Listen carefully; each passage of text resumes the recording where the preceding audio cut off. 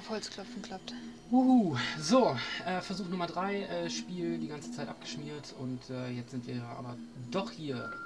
Und wir sind durch einen Teleporter gegangen und... Nun wandelst du auf den Steinen meines Tempels, von wo sich viele Tore öffnen. Wisse, dass dies nicht mein einziger Tempel ist, denn mein Garten ist größer, als dein Auge erfassen kann. Und all diese Welten habe ich für dich erschaffen. Wir haben nur ein Auge. Hat ein Auge? Wir. Er hat Ach nicht so. von Augen gesprochen. Aber wir Okay. konnten ja eben auch schon smartphoneartig die Codes lesen, ne? So, was haben wir hier? Was soll das sein? Blaupausen. In 3D. Dazu brauchen wir aber drei blaue. Gelbe, oder? Ach, ah, wir brauchen, ah, hier brauchen wir die ganzen gelben für, alles klar. So, und hier sind dann verschiedene Teleporter zu verschiedenen Welten. Ja, und zu verschiedenen Tempeln vermutlich. Und Ja, da brauchen wir eine Axt oder sowas, ne? Obwohl, wir sind ja vielleicht ein Roboter, also vielleicht eine Laserwaffe. hier brauchen wir anscheinend irgendwie alle. Und hier gibt es für In Sternchen. meinem Garten gibt es viele Geheimnisse, verborgene Wege und geheime Tore. Wenn du dich ihren Rätseln widmest, darfst du dich der Schar meiner Boten anschließen. Ja, Dann dürfen wir in den VIP-Bereich. genau, gibt's den ersten Stern. Okay, aber wir haben eine ganze Menge abzuklappern hier anscheinend. Und ich würde sagen, wir fangen bei 1 ab wieder an. Ne? Wir gehen also wieder zurück und Machen da gelb-grün. genau, machen Gelb, Yellow. grün. Ich hoffe, jetzt stürzt der Teil nicht wieder ab. Nein, tut er nicht. Wunderbar. Läuft. Guck mal, hast du das gesehen? Auf dem Schild mit dem Grün, wo durchgestrichen war ein Stern. Das heißt, wir können da doch noch was finden. Vielleicht? Fiel mir gerade auf. Nicht schlecht, Herr Specht. ähm, ich weiß noch nicht. Also ganz am Anfang waren, glaube ich, auch welche. Ich renne da mal einmal ganz kurz durch. Ist da jetzt nichts mehr? Ist egal? Wie hier. Ob hier irgendwas ist oder was? Nee, ich meinte, äh, ob die Kugeln wiederkommen, in die du dann reinrennst. Nee, wir hatten da doch noch zwei Eingänge, die wir, wo wir nicht drin waren. Ähm, hier in diesem riesen Raum. Hier, da zum Beispiel ist noch so eine, so eine Tür. Die haben wir alle. Anscheinend streicht er die durch, wenn, äh, Abgeschlossen ist. wenn, die, wenn man die hat. Ist ja eigentlich ganz... Hier zum Beispiel, was ist das? Vielleicht kann man da rumlaufen oder so. Von der Seite. Vielleicht gibt es hier irgendwelche Geheimgänge oder so ein Scheiß. Egal, wir holen uns erstmal, ja, bevor wir hier blöd rumlaufen, die. Hier fangen wir an, oder? Hier ist nämlich auch nochmal so ein Gatter. Ja, und hinter den ähm, ja, Statuen oder Ruinen oder was das sein soll, hinterhergehen. Naja, anscheinend kann man ja eh. Äh, du musst nicht alle Siegel auf einmal sammeln. Du darfst so oft an diesen Ort zurückkehren, wie du es wünschst. Habe ich mir gedacht. Ähm, möchte er mir damit sagen, dass wir das, äh, dass wir das auch müssen? Also, dass wir die Dinge jetzt noch nicht kriegen? So, Ich schau einfach mal. Hier ist nämlich das noch könnte eine. natürlich auch noch sein.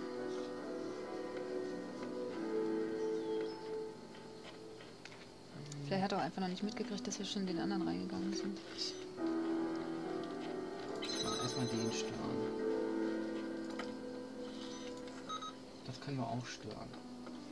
Obwohl, Wer weiß, wer da noch so um die Ecke kommt, ne? wir müssen das denn? Das stören, ja. Hier müssen wir den äh, Trick von. Endlich, endlich was. Ich werde das nochmal bereuen, aber jetzt im Moment macht Spaß. So. Ähm, das war's auch schon. ja, das muss ja auch nicht immer. Das lag ja jetzt nur daran, weil wir auf den Trick schon gekommen sind. Ja, nimm eins mit. Ja, Wir brauchen unbedingt einen Rucksack oder sowas. Genau. Nee, ich glaube, diese blöden Felder, die verhindern ja, dass ich die. Ja, ja, hatten wir schon. Bitte nicht. Ja, Jetzt das Gelbe. Ich frage mich immer so, jetzt, äh, wo wir wissen, dass hier ein Geheimgang ist, wo der sein könnte. Hm.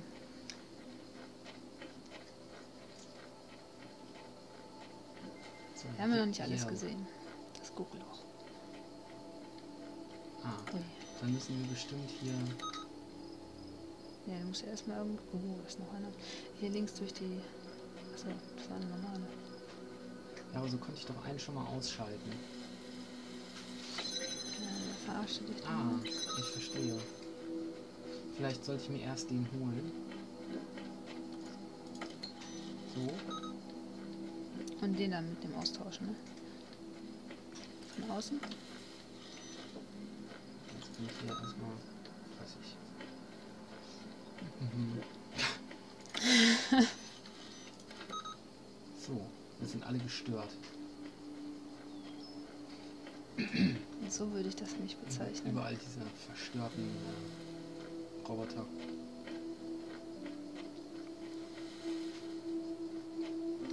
Das ist hier auch schon. Das ist ja nett.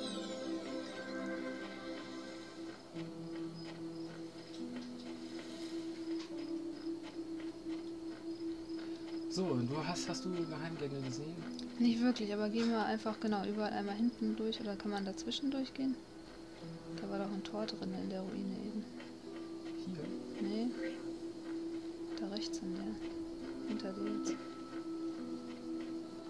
Da rechts. Hier Nochmal rechts. rechts. Nochmal rechts. Nein, das war links. nein, nein, schon da. Kann hier irgendwie nirgendwo durchgehen. Ja, aber ich glaube. Ich hatte da am Anfang, hatten wir doch diese komische Leiter da gefunden hinter der Ja, Ecke. stimmt. Die war immer noch interessant, ne? Aber ich Die hatte noch bisher keine Funktion. Oder wir haben sie nicht kapiert. Schauen wir doch mal. Ich kann ja mal schnell hin. Wir haben ja hier alle. Ähm, die hier?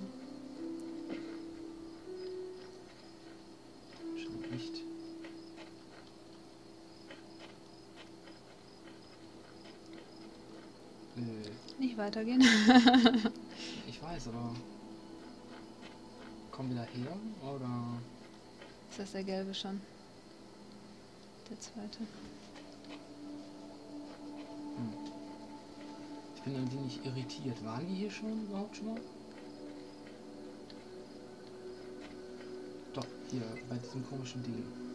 Da waren Ja. wir schon mal. Hm. Naja, aber wir scheinen hier ja alle irgendwie schon mal abgesahnt zu haben, ne? Bevor wir uns jetzt hier blöd suchen mit dem Geheimgang. Machen wir erstmal weiter. Hier ist aber auch nichts, ne? Ich auch keine Treppe. Ich meine, wenn man die eh alle sammeln muss, dann kann man sicher noch mal eine lustige, ich suche alles noch mal Abrunde machen. Wie? So. Trio Bombasticus. ja, die Die drei laufen da ne? alle gegen die Wand. Erstmal ganz okay. Aber ich wette, wir lassen sie gleich frei. Und wir müssen die alle auf die andere Seite kriegen anscheinend.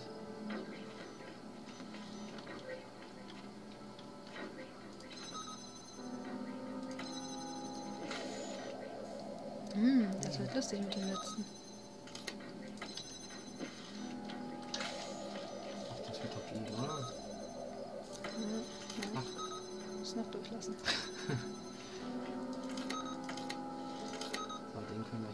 Nee, du brauchst den, um da durchzukommen. Verdammt. Mitnehmen. Yay! Aber die erwischen mich ja nicht. Tata! Ist noch alles schön entspannt, ne? Bisher hält sich das echt in Gr- Grenzen äh, mit den harten, äh, harten. Man kann hier hoch. Es eröffnet neue Auch nicht mehr. Ja. wir hier hinten lang gehen, kann nie wissen. Und durch diese Tore kannst du nicht durch, wenn da bei den Ruinen so Bö- Bögen sind. Oder was? Ja. Nee. Geht nicht.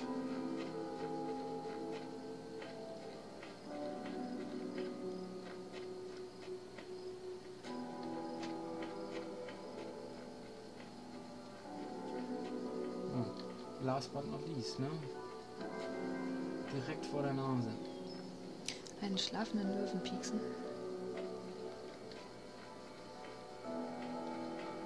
Oh, ja, ich habe eine Idee, wie man ihn piekst.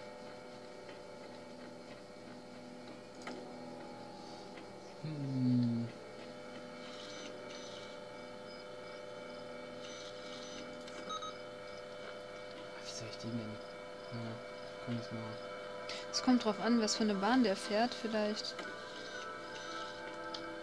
Ich kann ihn ja mit dem da hinten irgendwie. Ähm, ich mach das mal so und dann gucken wir mal. Ob der außen rum bleibt, ne? Genau. Falls nicht, schnell weg. Klappt immer ganz gut. Du bist äußerst fleißig. Vielleicht wird dir diese Eigenschaft in der Zukunft von Nutzen sein. Meine Fleißheit. Hat mir trotzdem nicht das Secret äh, eröffnet. Ja, es bleibt ja noch die Option, ob es erst später klappt. Gut, dann gehen wir erstmal nach Das war auch Hause. das einzige Schild mit dem Stern drauf. Auf den anderen war es nicht. So, wir nehmen die zwei. Da ist aber auch schon ein Sternchen drauf, ne? Wir können die zwei nicht nehmen, weil uns noch ein grüner. Ähm, fehlt. Ne, man braucht die, glaube glaub ich, gar nicht für die. Das heißt nur das, was man da findet. Du brauchst die nur für diese Platten hier. So. Aber da fehlen uns noch ein paar. Insofern. Wir schauen mal, was die zwei bringt. Lass dies unser Bündnis sein. Diese Welten sind dein. Und du darfst dich frei in ihnen bewegen und sie deinem Willen unterwerfen. Doch der große Turm, dieser sei dir verwehrt. Denn an dem Tag, an dem du ihn betrittst, wirst du gewiss sterben. Ja, da treibt mich doch die Neugier. Welcher Turm?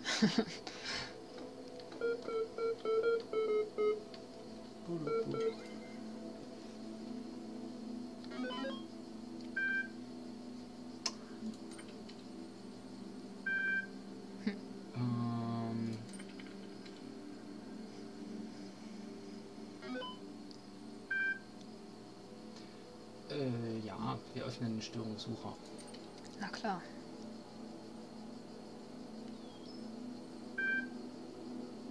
Ähm, Fehlerdiagnose.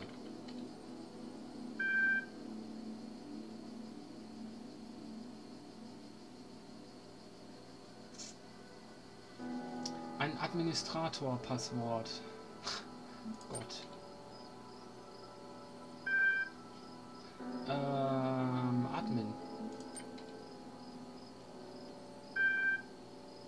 Lass mich rein.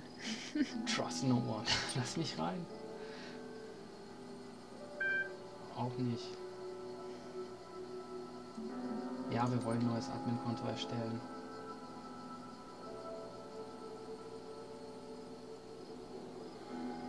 Also, wir müssen. Äh, Wir müssen jetzt beweisen, dass wir kein Bot sind. Okay. Ja, okay. Wir starten das Zertifikationsprogramm. F1 von 4. 2 plus 2 ist was? 4. F1, ne? Aber da steht doch 2 plus 2, oder nicht? Oder wäre das? Naja. Ähm, so, neutrales Frage Gesicht mit Grinsen. Ja, Ist ein Grinsen. Ich finde, das ist ein Grinsen. Zufriedenheit Achso, ja, Zufriedenheit. oder Gesicht. nee, das ist zu. Ich glaube, das ist Zufriedenheit, weil das ähm, die Augen so ein. Was beschreibt eine, ein Wesen mit negativer Entropie? Ein, Oh, ein Staatsbürger. Ein vernunftbegabtes Tier.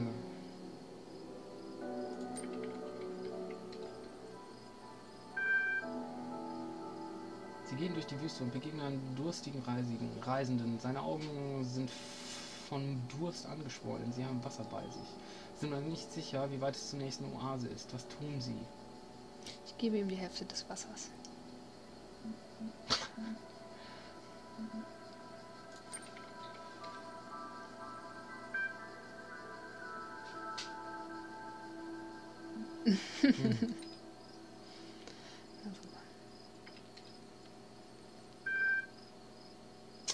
Jetzt kann ich mir wieder Dinge angucken. Gucken wir mal hier die E-Mail an einen an.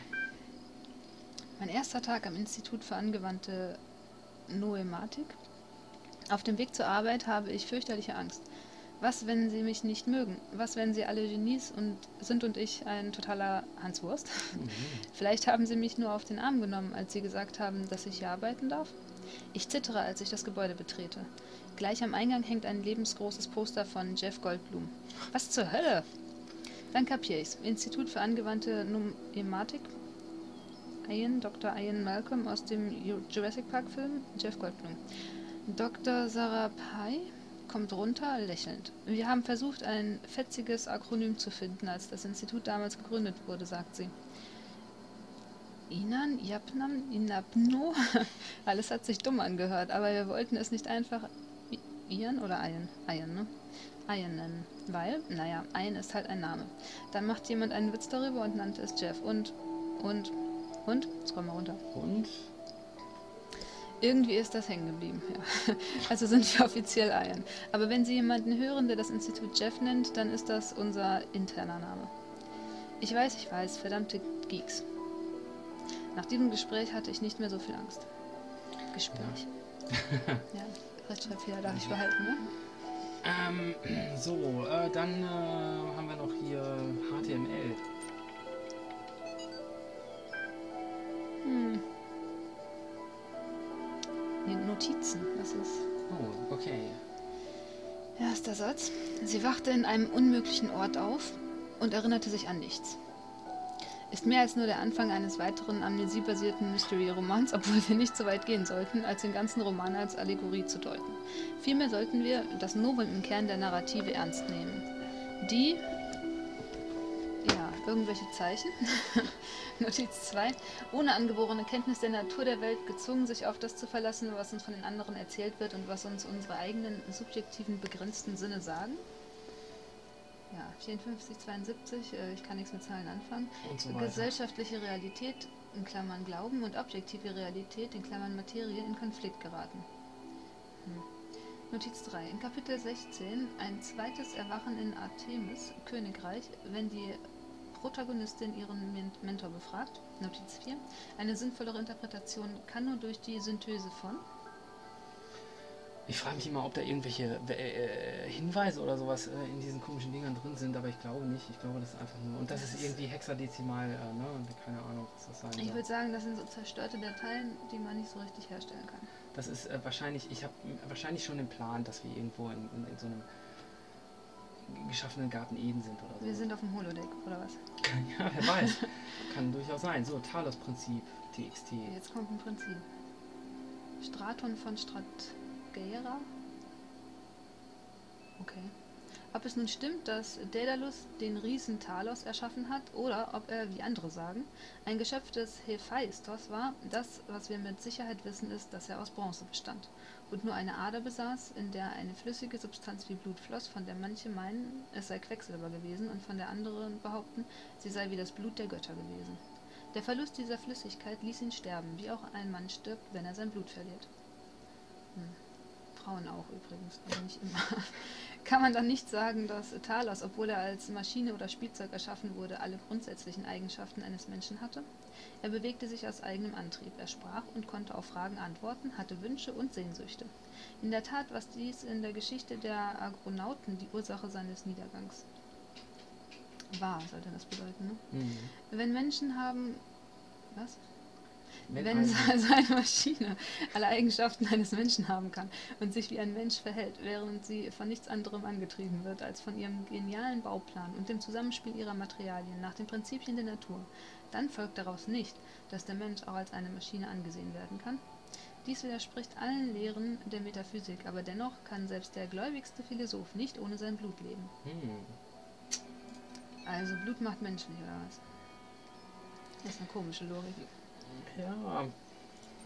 Naja, aber vielleicht irgendeine ne, vielleicht eine Substanz, dass das Blut sozusagen Leben symbolisiert, weil es eine Substanz ist, die dich antreibt. Äh, beim Talos wussten sie ja auch nicht, ob das Blut ist.